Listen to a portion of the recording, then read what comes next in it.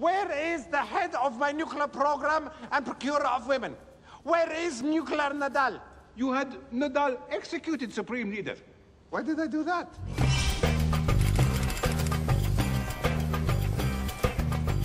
Ah, Supreme Leader, Ah, Nadal. we are just months away from refining weapons-grade uranium, and we are set to test the missile next week. It is too round on the top. It needs to be pointy. Round is not scary.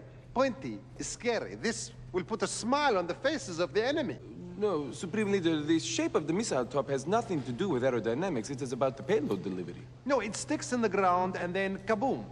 If I could make the device even a little more pointy, I, I would, but I, I simply cannot. Okay. You know what? Let's just agree to disagree, my friend. Okay. What? Why? No! Don't you remember? Of course I remember.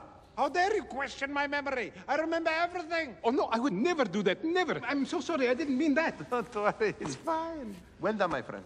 Thank wait,